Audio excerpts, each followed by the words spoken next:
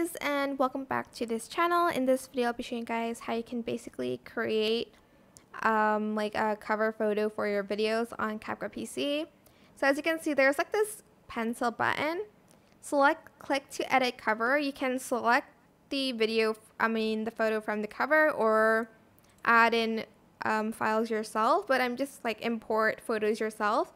But I'm just going to add one for my video so select edit once you have the photo that you want. And it's basically just going to um, give you some templates that you can choose from. I'm just going to select this one for instance.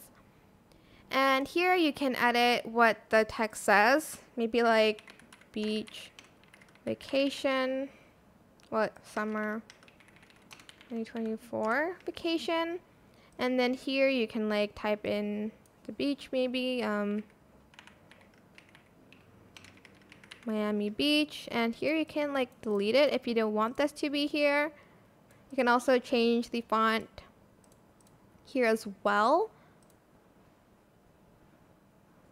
Like maybe this one.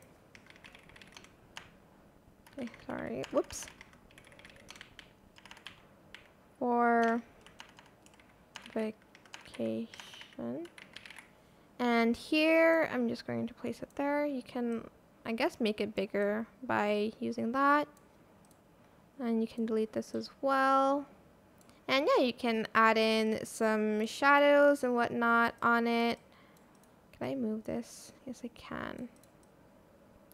And that is pretty much it. Once you're done, you're going to just select complete. I hope this tutorial was helpful for you guys. Don't forget to like, comment, share, and also subscribe to this channel if you haven't done that already. If you have any more questions, just leave it in the comment section down below. I will try my best to answer them all for you guys. And if you found this video helpful, please click the thanks button above the description box down below. Thank you so much for watching. Bye!